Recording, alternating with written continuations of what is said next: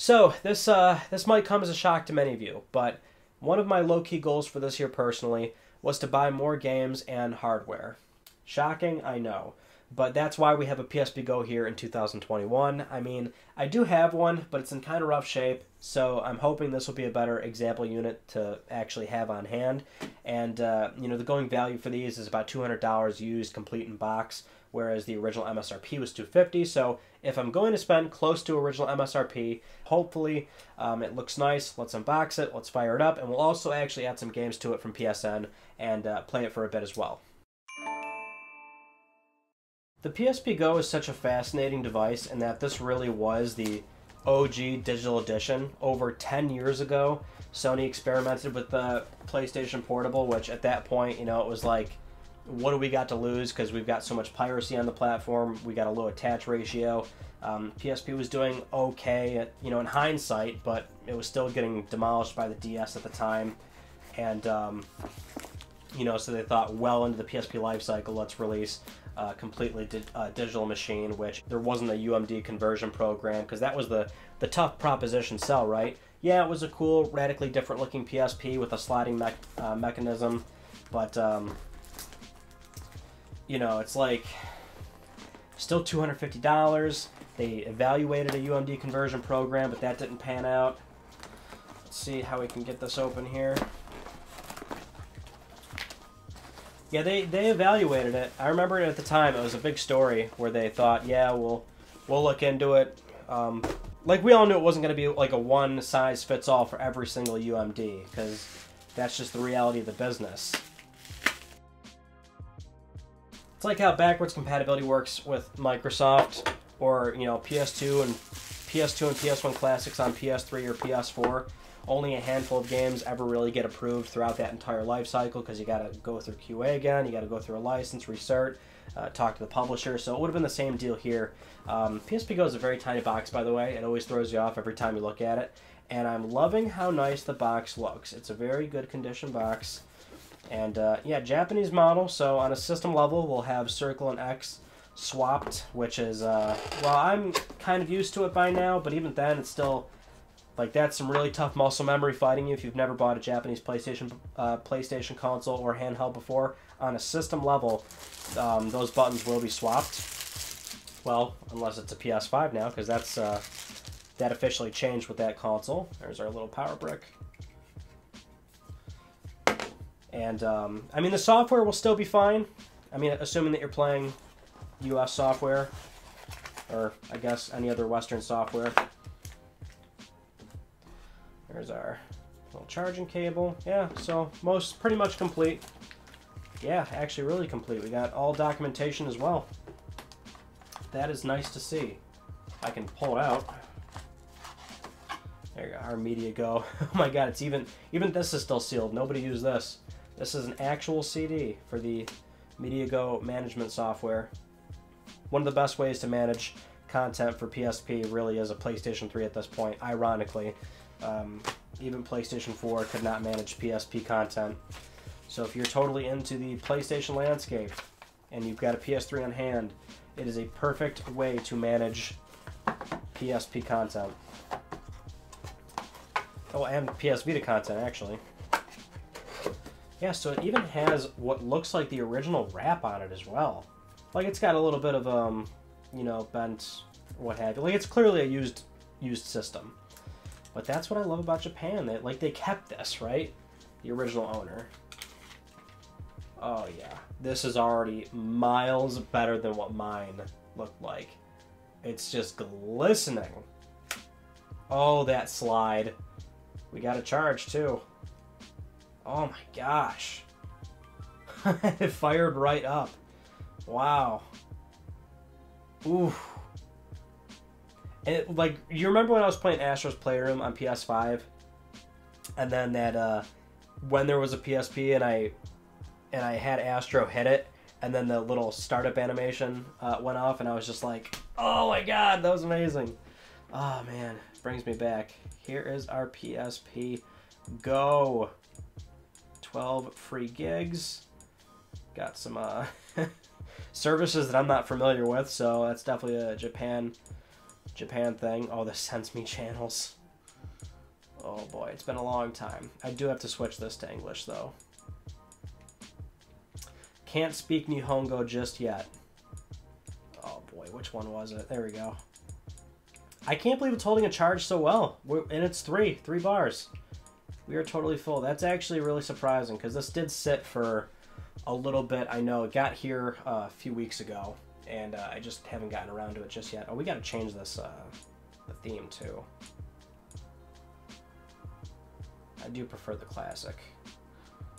And I do prefer the... I mean, normally I go blue, but... I kind of like the uh, default colors. Like, sometimes people ask me, why do I always have, like, why does my PlayStation... Well, when during the PS4 life cycle, why was my PS4 blue the entire time? Why don't you use custom themes? Same with my PS3. I just don't. I'm not into that stuff. I like the default wallpaper. I like the default pre. The way that the product is presented to consumers. I kind of like that setup. I, I don't know. Call me boring. Call me vanilla. But if I'm a, the kind of person that's one buying a PSP Go nowadays, still using DualShock 3s on a PlayStation 3 uh, I'm not into the custom firmware or modding scene, which is going to be shocking for what I'm about to do here. But uh, considering the fact that I do that, that's kind of why I prefer vanilla setups. I don't know. I'm just, I don't know. I've said this before, but I guess I'm a purist in that sense. I like playing games on original hardware. I like, you know, the stock images and whatnot. And um, let me bring you in closer though. Look at this. Look at this PSP Go. Look at it. This thing is so crisp. This is why I love buying hardware from Japan. Look at the back. I am quite pleased with this purchase. I'm quite pleased with this purchase. Yeah, this was also a little cute OS feature for just the PSP Go. When you close it, you get a little clock. What's also really funny about PSP Go, if you recall, back in 2009, was that this was supposed to be like a little surprise from Sony Computer Entertainment, uh, but we all knew it was happening, and it was their fault because they leaked it in their uh, digital magazine Qore, which is a weird thing that Sony did for a short time on uh, PlayStation 3 through PSN. They would sell a uh, digital magazine called Qore, and it was like I think four or five ninety nine per magazine. It was every single month, but it was basically just an app on PS3. You would start it, and then it would be a gateway of a you know, it'd be a bunch of videos and interviews and things like that, but it was basically like video content. You were more or less paying for video content. You were paying for advertisements, really. And uh, there was a Qore episode um, talking about PSP Go, but the problem is we didn't know it was a thing until the Qore episode.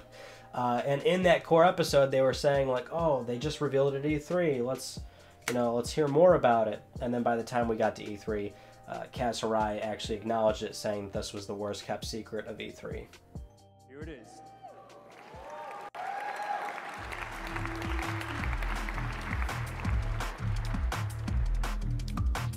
We actually have uh, a couple names for this beautiful little device. First, we call it the worst kept secret of E3. We call it PSP Go. Qore was such a weird, it was a weird thing. They did that. They did Pulse.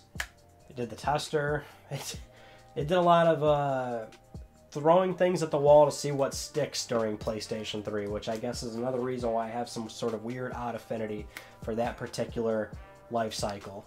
But let's um, let's go over to the PlayStation 3 now at this point, and uh, go to PSN and check out some games.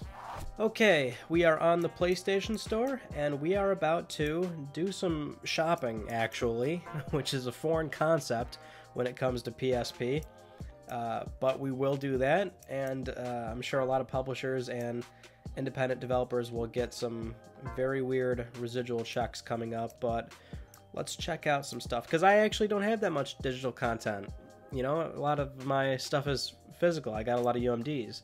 But let's uh, let's actually look at the minis. So I don't have a lot of these. These are cheap.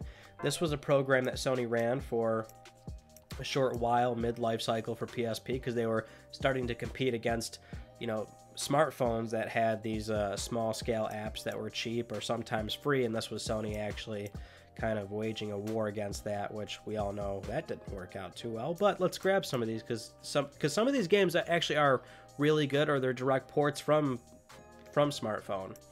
I just don't know which ones actually are worth picking up here. Uh, and these also are playable on PlayStation 3 for those that are unaware. So now, see, I do know, and we passed it. Jetpack Joyride is a good game. Why do I feel like buying this? I I shouldn't. Oh, Parasite Eve. Yeah, there's Persona 2.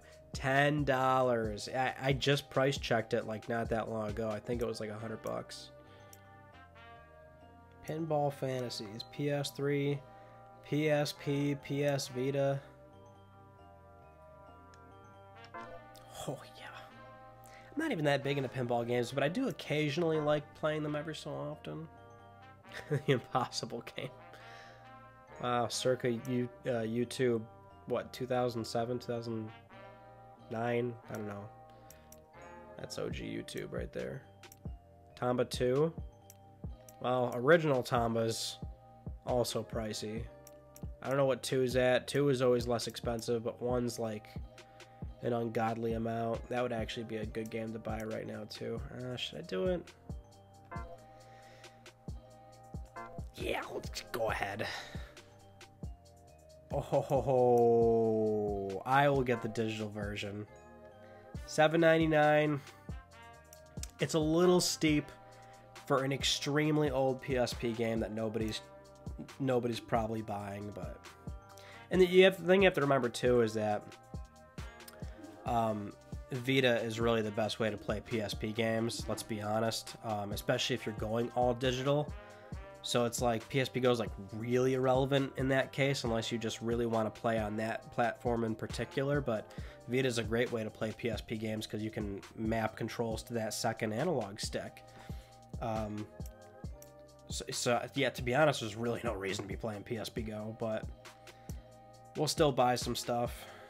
All right, I'm uh, I'm okay with this. We got a good mix here. We got some minis, some excellent PS1 classics, and uh, I guess that's technically our one native traditional PSP game, but I, I got more that I could download, but we'll we'll check out here.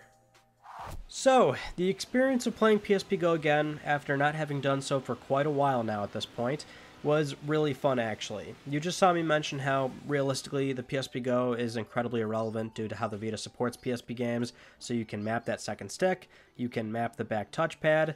If you're going to stick with just digital PSP games, then that's for sure the way to go. But there are some upsides when you still use one of these, namely that small screens, so it's actually smaller than the standard form factor models of the 1000, 2000, 3000, uh, the street model that's lesser known. But a lot of the software back then for these older portables tend to age poorly from a visual point of view, right? So with a lower resolution, they tend to look much better on smaller screens. So that's the case with the PSP Go, where a lot of the games, they just look sharper. Notably PS1 games, these are a real joy to run through on PSP Go. And while it can't match the Vita's second stick, you can still remap controls there to better fit those older games.